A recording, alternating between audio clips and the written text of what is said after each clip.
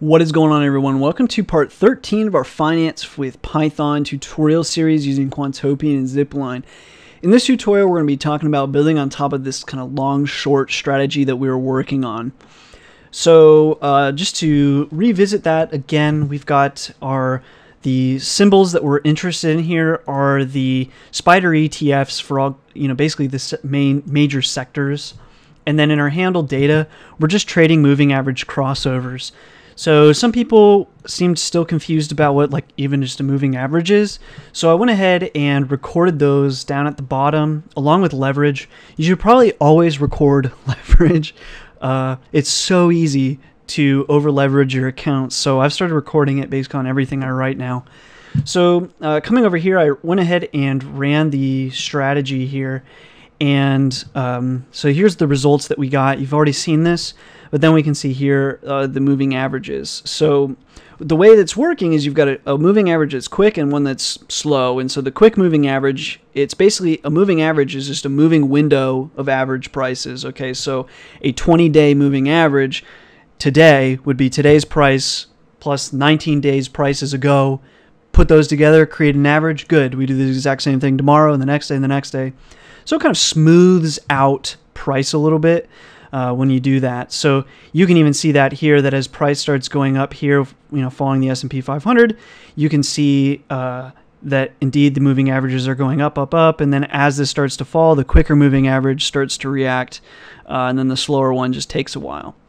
So anyway, what we're doing is as this shorter, this kind of bluish moving average, when it's below the longer moving average MA2, we're in short mode. So we're basically shorting all these all those tickers. And then when it's above, we're going long or we're just we're buying them. And when you go short, basically what you've done is you've sold this you've sold that ticker and basically you've sold it with the intention to buy it back later. So it allows you to borrow it from somebody else. You sell their shares, and then later on you buy them back. And the hope is that you buy them back at a cheaper price, give them back to that person, and you've made money. So, anyways, uh, that's the strategy that we're going to be working on.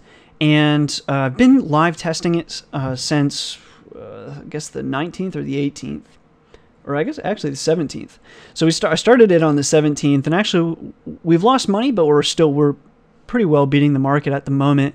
We're doing like four times better than the market right now because it's just been kind of slipping. Uh, but anyway, uh, there's that that's been running, and then I also wanted to go ahead uh, and bring up the latest uh, news from Quantopian. They just updated this a uh, couple days ago about the contest rules for July, which it is right now. Uh, just today is July 1st for me. And um, basically, their the update here is that they want everyone to be hedged instead of uh, kind of more of like a high risk by one one company kind of situation uh, where you can blow up. So I also want to go ahead and stress and kind of talk in this tutorial a little bit about what are hedge funds, like what actually is a hedge fund, and because I think a lot of people have a misconception about how the world of finance works. So a lot of people want to come into finance and they look at maybe a strategy like this and the only thing they ever care about is did we beat the market? Yes or no? And like that's the only thing people care. And then maybe they'll bring in alpha and beta and some Sharpe and they'll be like, did we beat the market with good alpha, beta, and Sharpe let's say. And if you did beat the market, great. If you didn't, then what the heck are you doing here, right? and actually, that's not really the case. So a lot of people uh, come to the field of finance with uh, a little bit of bias because most people playing in the world of finance are relatively poor compared to the big institutions that are hedge funds, okay? So most people aren't billionaire hedge fund managers, right? They are your typical person who's trading with maybe 25,000 to $100,000 account and that's it. So that kind of person, the kind of person who has a 25 to $100,000 account, what do they want, right? Well, that person probably wants to see high risk, high yield. They want to see uh, good a good amount of returns. They're not going to be happy with like you know, 5% returns a year, or 10% a year, or something like that. They want more. But then kind of try to put yourself in the shoes of somebody who has maybe $25 billion. What would you want? Would you want your 25 billion in a high risk, high yield situation or are you trying to protect your assets at that point? Well, most billionaires, uh, they're engaged in protecting assets. That's what they want to do. So the reason why we have these billionaire hedge fund managers is, or billion dollar hedge fund managers, I should say, is what they do typically. I mean, the definition of a hedge fund is hedge fund. Okay. Nowadays, hedge fund has been kind of skewed to mean a lot of stuff, but a hedge fund traditionally is a fund that hedges the market. And now, what does that mean? Well, here's a perfect example of us hedging the market. Where the market drops, we go up, right? And almost it's a zero sum, right? It we lost a little bit of money there, but it was almost a zero sum. So ideally, a hedge fund, what it's going to do is it's going to take the risk out of being in the market. So consider like the the housing crisis. Uh, which is basically like right here where we hedged the housing crisis. Um, the the problem with uh, the housing crisis is over the period of a few months, people were worth half of what they were worth initially. So not only is it billionaires with maybe large estates that they're trying to manage and keep, it's also companies. So companies are also sometimes the biggest supporters of hedge funds. So a good example of companies or, or just people that kind of have started up with these hedge funds would be like the entire options market. So the idea of the options market is you've got your farmers. This is actually this is really basic because nowadays farmers don't even own their uh, livestock usually, but you've got a farmer, and let's say let's say this farmer is growing corn, okay, but the problem is corn takes so much time to grow. And when it's time to sell that corn, it's time to sell that corn. We can't just sit around and wait a few months for price to be where we want to be to sell our corn. We kind of need to sell that corn quick.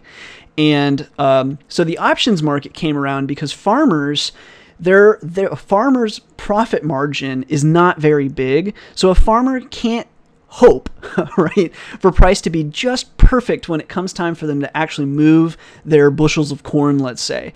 So the options market comes around, and so Mr. Finance comes to the farmer and says, "Hey, I would like to sign a contract with you that's basically going to say I will buy this corn from you on this date for this price. So cool. The, the farmer's happy because he knows exactly how much money he's going to make per bushel of corn, let's say.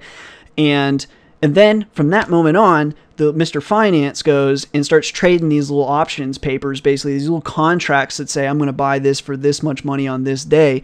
And they just they play that game for a while. And what that does is it smooths out the market. But who's it smoothing it out for?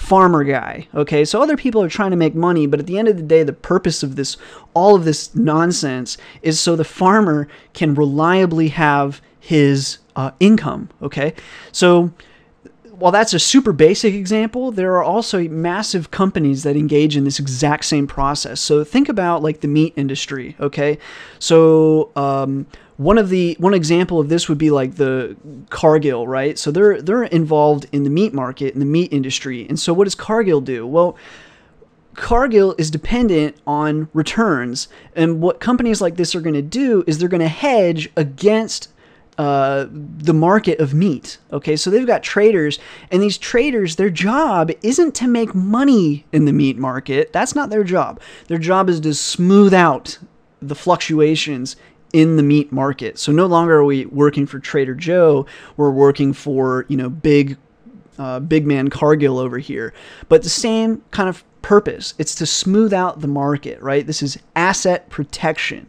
And so when we look at Quantopian, what they're trying to do is protect assets. Okay, so the hedge fund of Quantopian, at least to me, is appearing to their goal is not necessarily to beat the market. That's not what they're trying to do at at least Quantopian.